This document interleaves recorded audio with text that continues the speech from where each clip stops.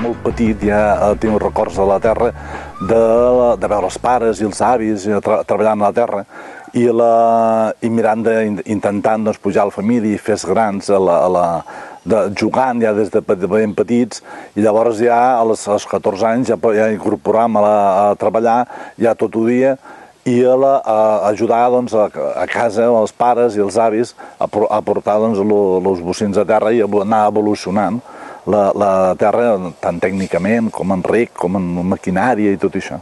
Érem autosuficients, o sigui, no, érem, compràvem molt poques coses fora. O sigui, nosaltres al, al mas hi teníem la, la, els bens, teníem bens, teníem la cabra per la llet, teníem dos tocinos per l'any que anàvem matant, en teníem els conills, teníem gallines, teníem patarrones, tot això era, era la, la, la base doncs, de, del nostre menjar i, a més a més, menjàvem el que hi havia a la temporada si l'únic que ens durava més era doncs, el ballana, l'ametlla, això que, clar, això durava per tot l'any. Llavors, com vaig incorporar jo, la, la, encara doncs, hi havia els cavalls, hi havia, es llauraven amb, amb el cavall i la, la pollegà anaven amb el carro, llavors era els últims, ja començava a veure algun tractor. A casa cada teníem, teníem la...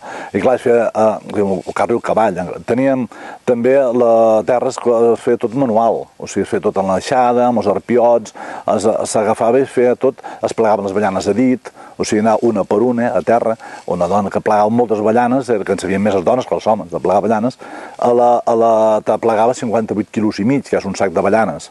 Doncs eh, llavors era, era el màxim que feia, doncs un sac. Ara, clar, això ha evolucionat molt, amb les maquinàries i tot això. Ara, ara agafem i doncs, pleguen 20, 20, 30, 40 sacs de ballanes en un dia. Són les màquines que tinguin, no?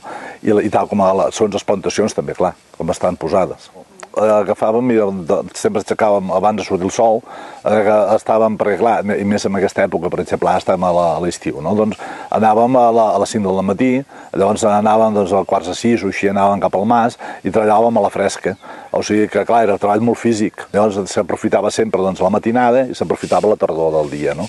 Llavors així agafàvem i treballàvem molt millor que no pas a anar a, la, a les hores del sol i, la, i per combinar doncs era clar, era, necessitaves molts, molts jornals, necessitaves molta gent per poder fer el mateix que fem ara doncs, a la maquinària però la, la, també era molt bonic perquè doncs, venien, no sé, a plegar ballanes.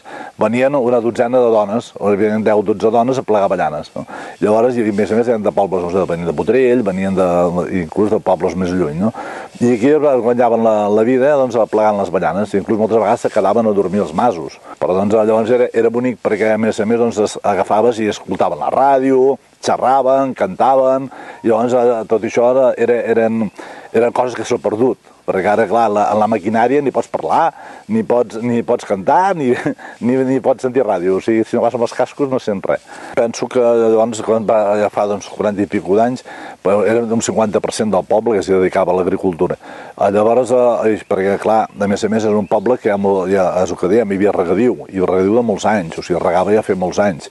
I la, que això ha sigut un dels programes clar nostre per poder mecanitzar això. O sigui, perquè els avis i les avis eren massa treballadors. O sigui, havien agafat i havien tingut les sènies de rosàries, les mines, els pous, o sigui, fent pous a mà, i llavors aquells oberts, llavors anaven, anaven a cap baix a buscar l'aigua, i llavors pujaven amb, les, amb unes eh, rodes dentades que hi havia, bueno, uns sistemes de, de bombeig, per poder agafar, van fer basses, per omplir les basses, van fer tot tuberies i recs per poder baixar, per exemple, aquesta zona on estem, baixen set mines, o sigui, per aquí, o sigui, hi ha mines Rosari, dels catalans, de la de l'Alqueria, hi ha, hi ha, hi ha aigua, aigua del pantà, doncs clar, la, això són, són treballs que es van fer en aquella època. Nosaltres el que vam canviar va ser els recs de, que hi havia d'abans amb tuberies d'ara. Doncs lo, la, la gràcia va ser aquests que van ser tan treballadors que van fer llavors la, la, la fenya, que ja dic, ara fos impossible perquè no es podria pagar el que, que van arribar a fer. És que la, la terra és molt, és, uh, molt creativa, o sigui, tu agafes, veus el que plantes, el com creix, lo, la forma que li vols donar, la, la, els arbres te parlen, o sigui, te, agafen, tenen estan tristos, diuen que els hi falta, o sigui, si ells tenen set, agafen i, i dobleguen la fulla, tenen la fulla de cara avall, veus que tenen set. O sigui, quan tu agafes i veus que tenen una plaga, doncs t'ho demostren que tenen la, la plaga. O sigui, veus les taques a la fulla, veus la, la que es posen grogues, veus que els hi falten microelements, hi falten, o tenen algun paràsit o algun, alguna eh, pugó, aranya roja o que tinguin, doncs, que tenen, tenen aquest problema. Llavors tu ets, ho pots solucionar, o sigui, tens de mirar de solucionar els problema d'ells, no? Llavors això doncs, doncs vida. Hi ha pocs oficis que et puguis donar vida i formació a la, a la que tu estàs fent. I és, i és una de les, de coses de les coses més boniques que hi ha.